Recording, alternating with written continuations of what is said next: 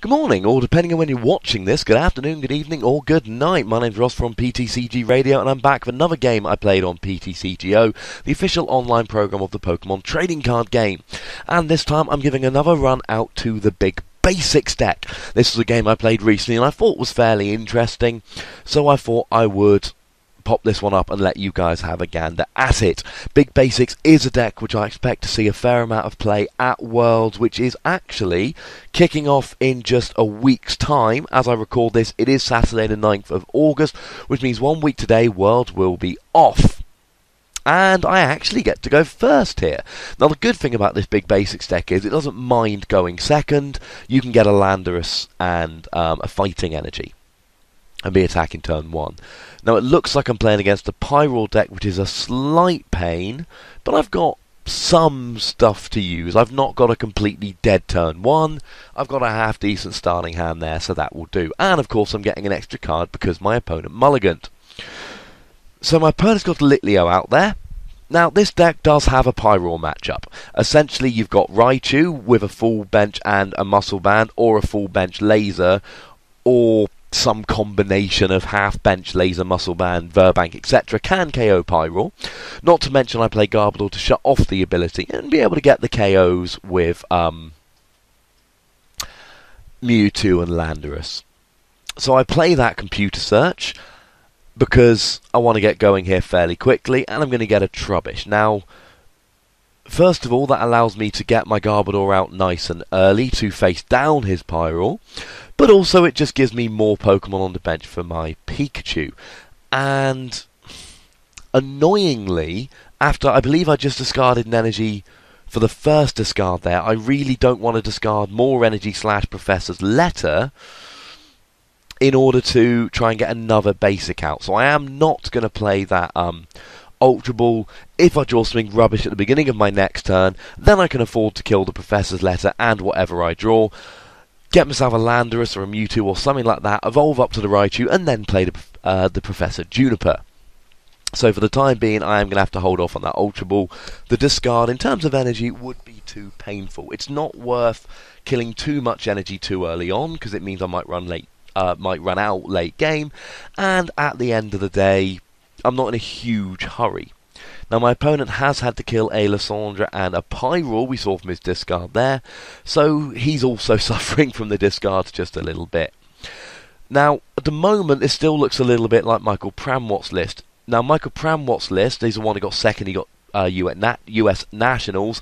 He played a single Mewtwo and a single Charizard, and the rest was Pyroar. And this deck has a very good matchup against that. I play Mewtwo myself. I'm really not worried. If it's Michael Pramawat's list, I've got a very good matchup here. Now, I can play the N here, but to be honest, I'd rather go for the aggressive start, get another Pokemon out, and then just Juniper.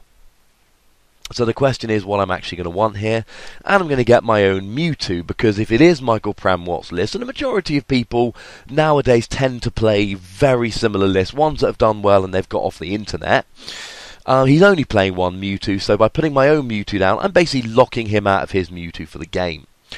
I do, unfortunately, whiff energy entirely, which is a slight pain in the neck, but there's not really much we can do about that, so you know, what can you do? I do hit the enhanced hammer there, so he's actually lost, I believe, two DCE now, because he had to get rid of one of them in his early Juniper. So if he is playing more than one Mewtwo, and he wants to go to a Mewtwo war, I'm feeling pretty good about this, because I've got four DCE and he's got two, so at the moment it's looking alright. It's just a slight pain here that I've actually not drawn any energy. That's going to be annoying later on. But I get my second Pikachu out, and I've got a Raichu for next turn, so it's looking alright, quite frankly. It's looking pretty good. Now the question is, do I retreat the Raichu into something else or just end my turn? Because that Raichu is looking quite vulnerable. And I might need it later on. But I've got a Trubbish out. Raichu becomes very, very valuable when my I don't have a Garbodor to shut off Pyroar's ability, because then Raichu's all I can attack with. But it's not a big deal if I've got uh, Garbodor out. Now the big problem here is he's just popped down another Mewtwo. Now I'm still questioning whether he can win a Mewtwo war, having already used two of his two double colorless, sorry, two of his four double colorless energy, presuming he plays four, everybody does. But the problem is we've all played those games where we do the maths and our opponents only has two of their DCE, tee hee hee, here we go, and then all of a sudden they manage to hit both their DCE at the right time. The way the game works at the moment, there is a lot of emphasis put on who can draw well off of supporters, and that's not really where I want the game to go, and that's basically what happens to Mewtwo Wars. So my opponent gets another Litleo out, and I'm looking there, and he plays a Juniper, which he hit off the random receiver. We knew that was coming. So the question is, how many Mewtwo's are you playing? Is it just the two? How aggressive do we want to go with the Mewtwo's? Because essentially, if I kill his Pyro with my Raichu, he's probably going to have to respond with his Mewtwo. Now I top deck the Garbodor there, which is awesome, and then I play my own Juniper, so my board's looking quite nice. Uh, shame I didn't hit a single fighting energy to use that Raichu, but at the end of the day, I hit the Virbank laser and I hit the Muscle Band, but I don't even need the Muscle Band to get the KO on that Pyroar. So I'm going to retreat to my other Raichu and play my first DCE, because there's no point attaching free energy to one Raichu. And then I can play the laser, put him down to 80 HP, and Circle Circuit with four bench Pokemon will do 80 damage, and will get the KO on his Pyroar, putting me a prize up and forcing him into some kind of retaliation. Now, the re- most likely retaliation is he'll pop down a Mewtwo and either a Muscle Band or a Laser, and that will allow him to get the KO on my Raichu. And then the question is, do I then follow up with my own Raichu? Do I start hitting with Landorus? I've got the Muscle Band laser there, so Landorus will start doing a fair amount of damage. And there's his third DCE, as I said, they tend to have them when they need to. Or do I Juniper, searching for my own DCE, because I can play laser or Muscle Band and then Juniper. And then if I hit my own DCE, I'm ahead in the Mewtwo War. But of course, he's got a Mewtwo down. And then he plays a Reshiram. So this is very much not Michael Pramawat's list. And now I'm a little bit concerned. Because against the standard Michael Pramawat list, it's one Charizard, one Mewtwo, and a bunch of Pyroar. So as long as I get my Raichu and Garbodor down, the, Pychu, uh, the Pyroar aren't a problem. Raichu kills them, Pyroar allows something else to kill them. His one Mewtwo isn't going to win a war against my... I think I'm playing two Mewtwo in this deck. And Charizard is a big investment. But with the Reshiram there, this is the kind of thing about counter decks. What do I do against Reshiram? He's going to Blue Flare, my Mewtwo does 60, and he can Revenge KO me. My Raichu does 100, I suppose I can kill with Raichu, but to get the KO on his Reshiram with Raichu, I need two energy, a full bench, a muscle band, and a laser. Landorus doesn't do much, and if I don't kill the Reshiram, he does 20 more damage to me than I did to him with the Outrage attack. Reshiram isn't an amazing attacker, but it's very good if you're not prepared. So I played a laser.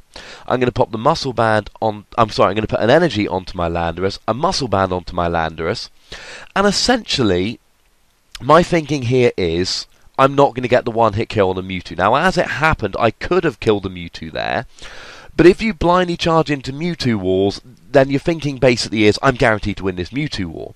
If I get the KO on his Mewtwo, I go down to three prizes, he does 120 at least with his Reshiram, and then I'm not going to get the KO on his Reshiram with my Mewtwo. So, I'm going for the easier play, and I'm putting down a second Trubbish there because I don't want him to kill my Garbodor. And here, I'm doing 50 damage, with going up to 80 with the laser. He is asleep. I can do 30 to that Litleo on the bench, maybe getting a KO in the future, or at least softening him up for future KOs. And I'm playing this kind of conservatively. I could have gone full speed ahead with Mewtwo, but that Reshiram's a bit of a problem. I, uh, this big basic deck is essentially a counter deck. Landorus does good early damage, Mewtwo counters Mewtwo, Deoxys, Evil Yveltal, stuff like that. Raichu Kuza, Yveltal, Garbodor catches everything. But here, we're essentially against a deck which doesn't mind going for the Mewtwo War and has Reshiram to kind of put the Mewtwo War in their favour by having a Pokemon which does 120 damage and then goes down to 1 energy. And that's what he's doing here. The thing is, though, if I've got my Garbodor and Raichu, his Pyroar don't worry me, like, at all. they really don't worry me. I can get some easy KOs. His Mewtwo's are always at the mercy of my Mewtwo's if he wants to attack with them. So the question is, do I just let him kill my Landorus and then get kind of KOs later on? Because even if he goes ahead by a couple of prizes, it's only that Reshiram that's a bit of a pain in the neck here. Now, if I had a switch and a laser, I could kill it with Raichu, but I can only get a switch or a laser from that Skyla, so that's no good. Because otherwise, um, Raichu's not killing the Reshiram and he's getting KO'd back. So, the question here is, essentially, do I get the switch and hit his Reshiram with something else? Or do I hit it with the active Landorus, get a laser as well, and just kind of accept that I'm going to get my Landorus KO'd next turn? And the mistake a lot of people make when they play this game is they think they've got to win 6-0. In fact, I'm going to get myself a Lysandre for next turn. You don't need to win this game 6-0. In this particular game, I'm playing quite conservatively. And the reason I'm playing, and this is one of the reasons I wanted to show you this game. The reason I'm playing conservatively is this. I'm fairly sure I'm going to win playing conservatively. I could win quicker by going full on Mewtwo and going very, very aggressively. But if he ends me down to nothing or draws better in terms of the Mewtwo war, then all of a sudden I've lost a game which I thought I was going to win. So I'm going to hit for 50, and I'm going to hit that Litleo on the bench, and I get a, a prize from the Litleo, which is another reason to keep the Landorus active. It's an easy prize, and if he up, if he evolves that into Pyro, I don't get that easy prize. So I still get a prize. He's going to then go a prize up by outraging for 70 to kill my Landorus, but I'm still not terribly worried. Because he's got the Mewtwo's, my Mewtwo kills him easily. Uh, that Reshiram's going to go down fairly easily, either to a Landorus with a Muscle Band and a Laser, or to a Raichu. And I can Skyla for the laser there if I wish. So it's really not the end of the world here. That right, that Reshiram's going to go down. We're going to be even on prizes, and I'm not really terribly worried about how it's all going to work out. I can get a DCE onto that Mewtwo this turn so that I can um, have it ready for future, and I can Lysandre and kill that Mewtwo either with the Raichu or indeed with my own benched Mewtwo. Although, if he draws into his last DCE and a Muscle Band or something, then he's going to get the KO there. So that's probably not something I want to do too early. So I've got that Muscle Band there. And I, I haven't got a tool on the Garbodor yet, and the reason is I haven't been drawing into my float stones. I want to draw into my float stones, but I've not been drawing into them, and that's a real pain in the neck. And the muscle bands are too good on my low energy attackers. So I'm going to Lysandre up his Mewtwo, I'm going to Circle Circuit it, and I know I'm not, I haven't used many cards in the last couple turns, and that's a concern. But I play a lot of, that was me dropping my laptop, don't worry about that. I know I play a lot of consistency cards here, and I'm not terribly worried. Not only that, but I've got a Mewtwo ready to attack. I've got a Garbodor ready to have a tool put on. I've got a Landorus that attacks for a single fighting energy. Now my opponent here could attach an energy and blue flare for the KO, or attach a muscle band and outrage for 90 for the KO. So either way here, he's going to get the KO on my Raichu. He's going to even it up at two prizes each. And I'm not terribly worried about that he would. I mean, essentially here, I'm probably going to get the KO with my Landorus next turn. I'm going to need a muscle band. And if we have a quick look in my discard pile, there's one in there, there's one on the righty, so I've got a muscle band left. I've got a laser in hand. A muscle band laser will KO that um, Reshiram with my Landorus, and then Mewtwo will either kill the Pyro or will kill his own Mewtwo. Whatever he attacks with, I've got a Mewtwo ready to get the KO. Now, it is potentially slightly dodgy in that I need the muscle band and I can Skyla for it, but my deck is a little bit, given that I've got two prizes left to take, my deck is a little bit larger than I'd like. So he's really thrown a spanner in the works with that Reshiram, but what I've essentially done is I've just gone nice and slowly, nice and easily. I'm just picking his Pokemon off with mine, making the trades work in my favour, and just kind of carrying on like that. Now he's only got one DCE left. What I could do here is play the laser, end him down to two, and get the KO on that Reshiram. But the problem there is, if he brings up that Pyro and I don't hit a, um, and I don't hit a um, tool, then I'm not going to be able to kill his Pyro, and he's going to get the two-hit KO.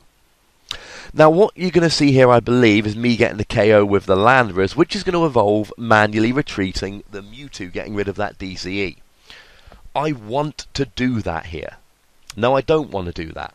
I'm actually going to use the Floatstone on him, not the Garbodor. Now, this is actually a risky play, because if he's got a Lysandre and his last DCE, and I haven't ended him, remember, then he could potentially get the KO with his Mewtwo.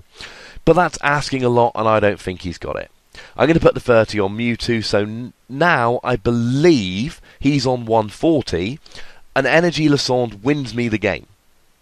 I can actually Lysandre and KO his Mewtwo without, and I've got one Lysandre left, without actually having him put any energy on there. So I've got the switch in hand, and it's going to be a big ask for him to get a two-hit KO on my Landorus here. If I draw a switch, or if I draw one of my remaining DCE, I can get that uh, Landorus out of the active. I'm not terribly worried about that. Now, you could argue there that I should have put the 30 on Pyroar, but the problem is I didn't have a tool on the Garbodor. If I'd been able to draw into my float stones more easily, what I could have done there was put the float uh, was put the 30 damage on Pyroar, and then it's just a laser for the win here because I'd be doing essentially 80 and Pyroar would die. The problem with that is I then would have had to get rid of the energy on my Mewtwo, which might not have been a problem, but if he were to Lysandre up the Mewtwo, etc., that would have been an issue. So maybe I could have just put the, the Floatstone there on the Garbodor, hit the Pyro on the bench with the Landorus, and then just needed a laser for win. But that's slightly dodgy there. I'm still going the conservative route. And he's going to end me down to one, which I'm not terribly worried about, because I play a lot of consistency cards in this list. And, you know, like I say there, I've, I've drew into, I had a couple of switch left, DCE, all of that good stuff. So he's going to hit me for 80. He's got the KO next turn, but of course I've got the DCE to retreat him. And all I need now is just a Pokemon tool. If I hit a Pokemon tool, then I'm fine. I don't which is a pain. But what can you do? The good news is I don't have a hugely large deck anymore. I know a 39 in the discard. So there's only something like 12 cards left in my deck there. And if I actually draw my Lysandre next turn, I can Lysandre up and kill his Mewtwo by attaching that last energy. So what I'm... And regardless, he's got two prizes left. So I can let him hit the Mewtwo, and I can retreat with that Float Stone, meaning that actually that float stone on the Mewtwo has gone a long way there. Because I didn't have the laser, so I wouldn't have got the KO with my Landorus anyway on his uh, Pyroar. So in the end, what I did actually turned out to be the best bet because I wouldn't have got the KO with the Landorus due to the lack of the laser. It's just a real pain here that I'm not able to still get a tool for that Garbodor. If I can just draw one of my remaining float stones, it's fine. So what I'm going to do here, I'm going to feed him a Trubbish. I'm not worried about that because there's still plenty left in my deck. A Lysandre or a Floatstone or a supporter. There are a lot of outs in my deck.